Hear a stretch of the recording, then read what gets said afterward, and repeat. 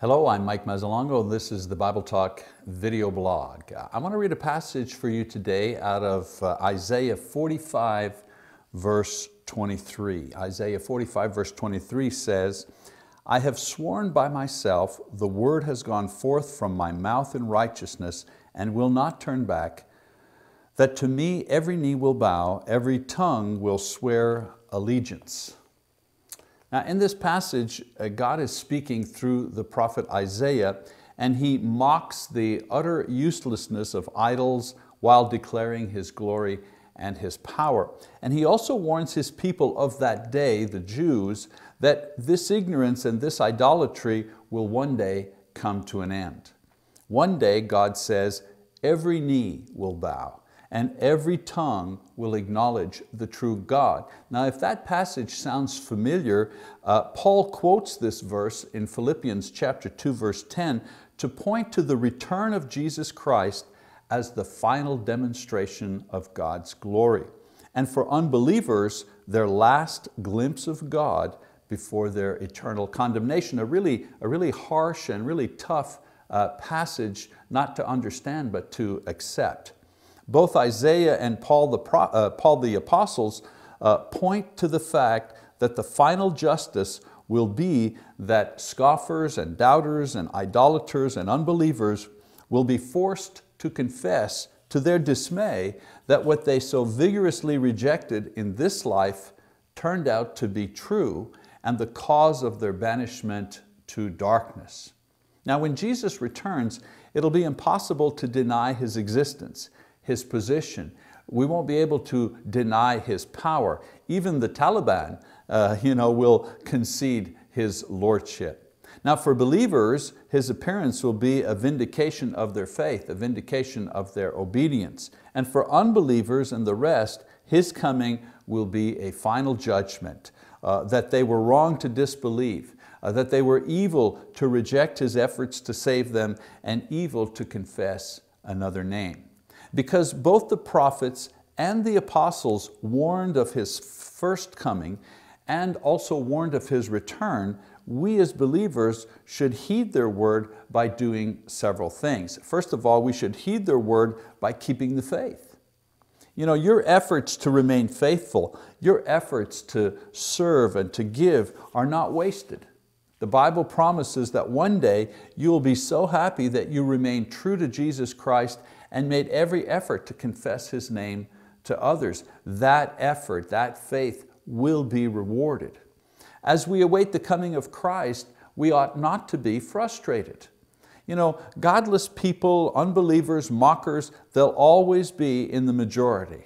They will always have the superior platform to scoff at faith and, and those who rely on faith so many uh, writers of books that deny God or that scoff at faith and religion, uh, you know, they get the big platforms on television and the uh, you know, publishers publish their books, uh, but it will not always uh, be so. Uh, don't let that frustrate and discourage you who believes because even though they may have the advantage now, the scriptures say they won't have it forever.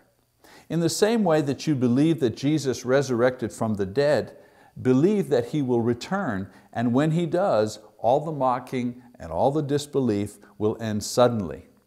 No one will be able to deny Him His place, and no one will be able to deny Him the honor that He deserves when He returns. And then one other thing, as we are waiting for Christ to return, don't waste your time. Isaiah the prophet promised that someday, that someday would come. And when it did, it would be too late for the Jews who had rejected Him and all the prophets uh, that had uh, followed Him. Paul said one day when Jesus returns, and, and the wise person is the one who realizes that one day could be, well, could be today. If you believe, and I'm speaking to believers, if you believe, don't waste any time in obeying Jesus uh, by confessing His name and repenting of your sins and being baptized to wash away all guilt. Don't, don't waste your time in putting off uh, those important things in order to respond to Christ in faith. And don't waste any time being unfaithful to Him, thinking that you can make up after He returns. His coming is for the faithful. He's not coming for the unfaithful. And if you need to be restored, if you need to you know, uh, go back to being a faithful Christian, well today is the day to do it. You never know. Tomorrow can be too late because tomorrow Christ could come uh, and take you in death or Jesus could come uh, uh, uh, once again to take us all to heaven. So you know, we have no guarantee for tomorrow. We have to do what we know is right today.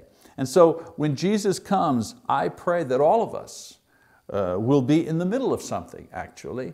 You know, if someone said to me, what, what, what do you want to be found doing when the Lord returns? Well, I want to be in the middle of something. I want to be in the middle of a project that, that's building up the church. I want to be in the middle of perhaps baptizing somebody who's confessed His name. Uh, I want to be in the middle of worshiping God or being at a retreat or an activity. I want to be in the middle of studying uh, with someone about uh, the word of uh, God. I want to be in the middle of a spiritual warfare. Myself personally or as a group at the church, I want to be in the thick of spiritual warfare when He comes. Not just talking about what I used to do or talking about what I'm going to do. I, I want to be in the middle of doing something that furthers the cause of Christ when He returns. And so as we wait for Jesus, I encourage you, let's keep on believing, let's keep on hoping, and let's keep on working hard so we'll be happy to see Him when He appears. It'll be truly good news for us on that day. Well, that's the video blog for today. If you'd like to comment or write, you have questions, you can write me at mike at bibletalk.tv. Uh, we'll see you next time. God bless you until then.